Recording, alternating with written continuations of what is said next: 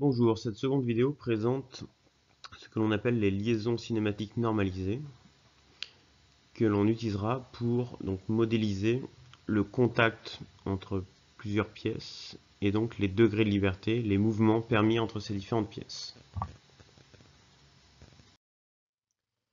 Tout d'abord, en cinématique, on va travailler sur ce que l'on appelle des degrés de liberté et dans l'espace, nous comptons donc 6 degrés de liberté trois translations suivant les trois axes permettant de décrire l'espace, donc les translations en x, en y et en z, et trois rotations autour de ces trois mêmes axes.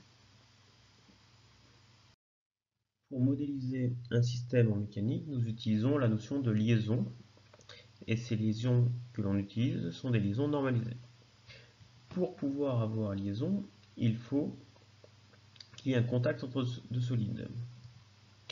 Ces contacts pourront donc être surfaciques, linéiques ou ponctuels. Nous faisons l'hypothèse de solides parfaits, donc géométriquement parfaits, et des solides indéformables. Les liaisons, elles aussi, sont parfaites, c'est-à-dire qu'il n'y a pas de jeu entre les surfaces de contact, et on ne prend pas en compte un éventuel frottement entre ces surfaces. La première liaison normalisée que l'on peut rencontrer est la liaison ponctuelle, donc par exemple entre une surface sphérique et une surface plane.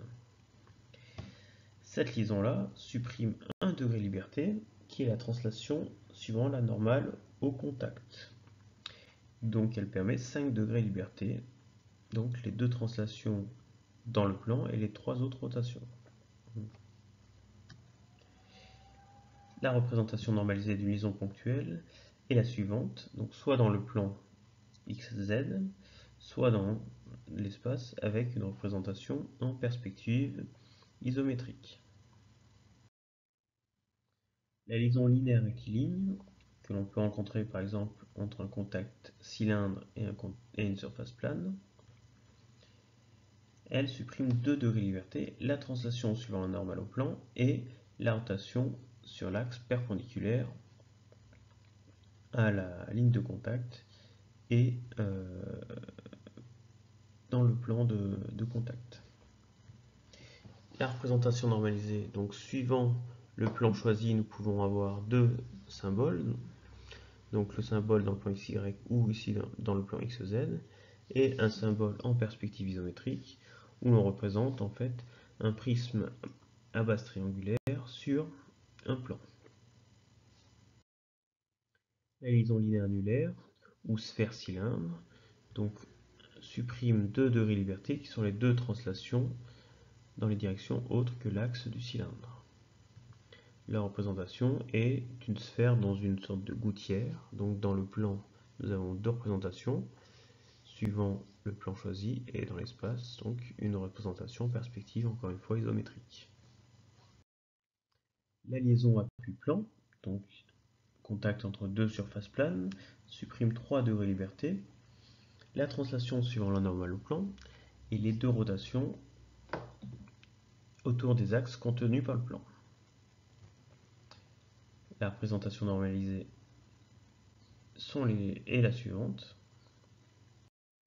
La liaison rotule donc réalisée avec un contact sphérique, donc entre deux sphères.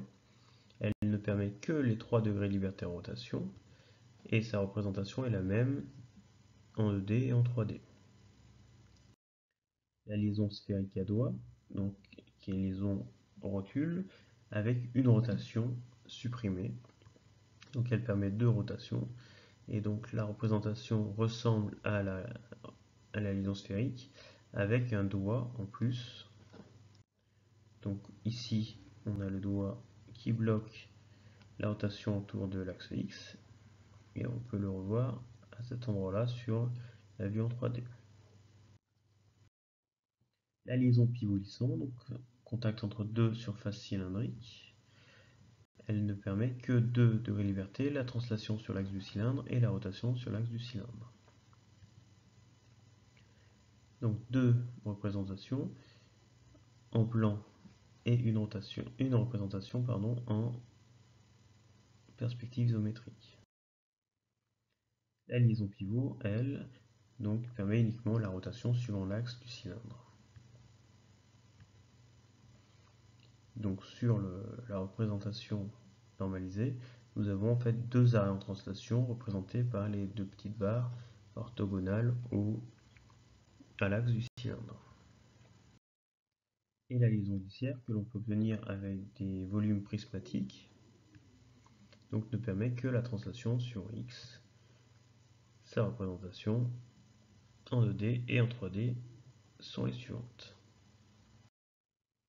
La liaison hélicoïdale, donc par exemple entre une vis et un écrou, permet deux degrés de liberté mais qui sont liés l'un à l'autre.